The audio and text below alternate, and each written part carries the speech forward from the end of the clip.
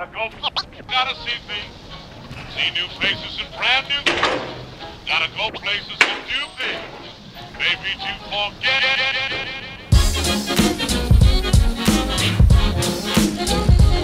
I know, right?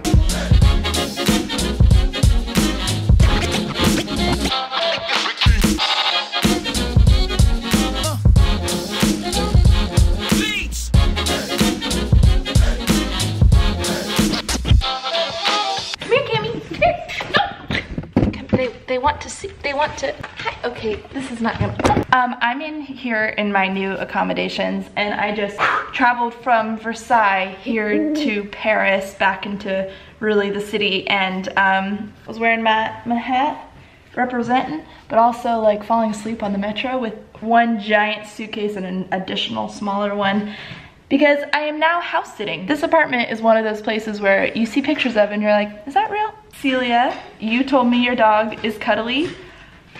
You weren't kidding. Oh, he's in the sun. How you liking that parallelogram? Show it. Oh, yes. Give him some grunts. Make your piggy noises. Today is one of those travel days where I need to charge my batteries, literally and figuratively. Now it's time to learn some grammar. Oh my, it's so crazy when I'm by myself. I'm going to start working with a French teacher. And it's probably the thing I'm so excited about. I've been practicing French for a while, but I haven't had a proper lesson since I was 20 years old, I'm pretty sure. So I've been making mistakes left and right and front and back. I am really excited to get my errors corrected and I am not gonna see her for a couple days, so I bought this book. It's a book that I had in high school and I just bought it again because you know why? You know why I had to buy it again? Because when I read Marie Kondo's book, I got rid of like all my French books. Think I, I'd never study French again. Today when I was walking the dog, someone told me I have really good English. I'm not sure how to take that. I went to bed last night with plans and dreams to wake up early and do responsible human things like work out and shower. But then I decided not to and I'm gonna tell you exactly why. I think, ladies, it's very important to take that first day at least of your cycle to relax. I get it, I get you,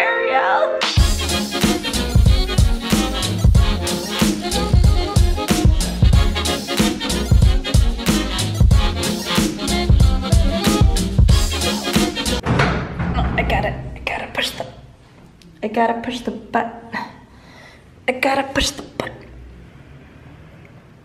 Okay.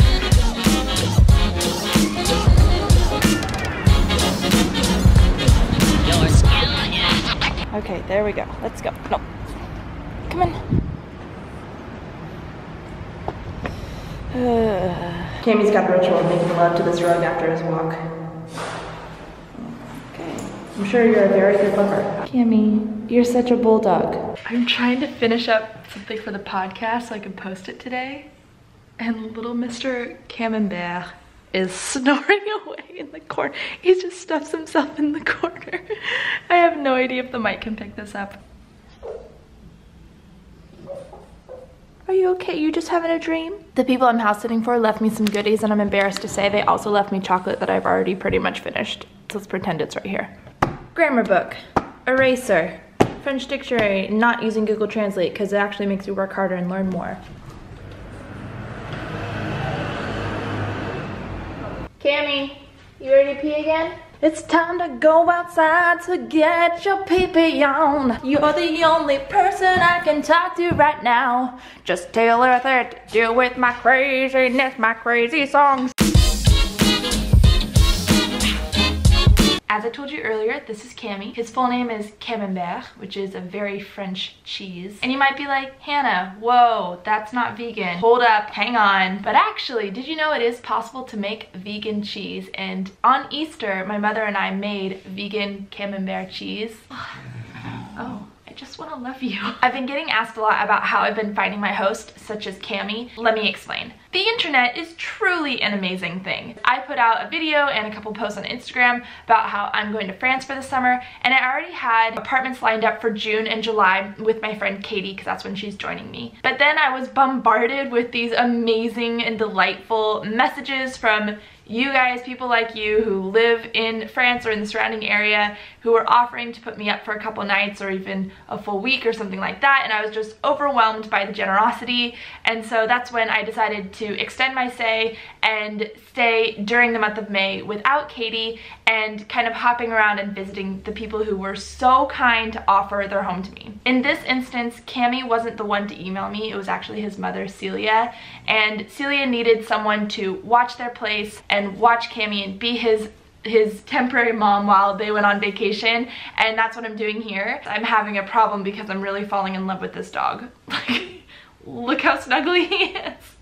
Also just have a lot of friends overseas because I am an English teacher. I used to teach in ESL programs with international students and by the end of the semester, end of the term, a lot of my students would tell me, hey, if you're ever in Brazil, hey, if you're ever in Switzerland, if you're ever in France or Colombia, come over, like I'd love to have you. Now I'm able to see some of my past students. I saw a couple of my past students last night, but they're not students anymore, they're more like friends. And for those of you who wanna do something sort of like this, just making contacts and staying with people and being hosted and then hosting in return. There are so many websites that you can use to connect with people. The thing that I think is the difference between, you know, me finding someone on Couchsurfer or something like that is that the people who are hosting me, and the people who found me, they already kind of like know my life because I have a YouTube channel, etc. And they know, hey, we're totally gonna get along. We have a lot of common interests. I know her, um, her personality and my personality are gonna click. But that's not to say that you can't try it out. I mean, Cami and I didn't know that we would click. He doesn't really watch my videos that often, but we totally get along and sometimes it is serendipitous like that. And the reality is if you find someone online who's willing to host foreigners, they're likely going to be an open-minded person who is willing to, you know, teach you their language and talk and have long dinners together and show you their town because they're proud of their city. Speaking of which, I am now going to a picnic to meet some of you guys. I'm gonna have more picnics here in France, maybe in different parts of France, but mostly I'm gonna be in Paris, so we'll probably just do another one. I'll announce them when I have more dates. I know. I'm gonna be late because I'm just doing a photo shoot with Cami. Let's take you out one more time to make sure you're nice and comfy.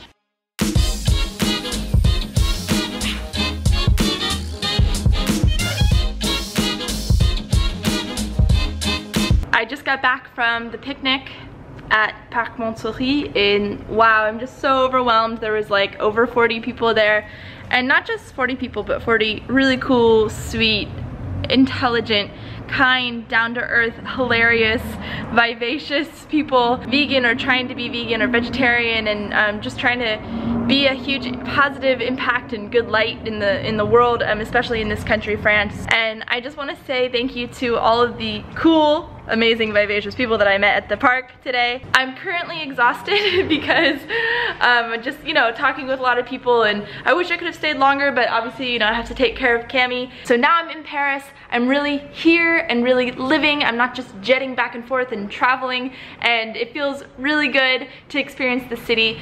For anyone who lives here in Paris, you have a beautiful city. I really hope you don't take it for granted. I know it's cliche, but Paris, OMG, you're so pretty. And the people here, even more amazing.